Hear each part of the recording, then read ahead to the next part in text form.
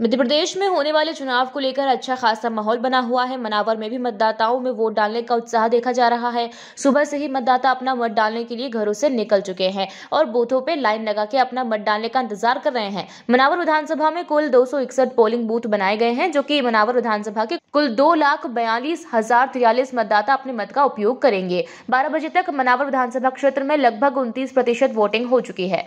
मनावर से फिरोज खान की रिपोर्ट।